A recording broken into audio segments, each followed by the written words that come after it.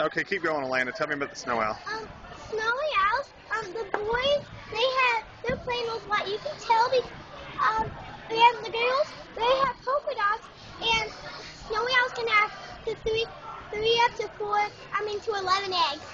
Eleven eggs? Uh huh. And um, snowy owls they eat lemmings, mouses. Mice? Maybe mice? Yeah, mice and little birds and rabbits. What about people? Well, they don't eat people. They'll, they their wings are are 20 inches. 20 inches? If like if a grown up was holding it and they were trying to make it look like a beard, it would go all the way down to the floor. And um, snowy owls, they're they if you touch the claws, your, your finger will be hurting because they have really sharp.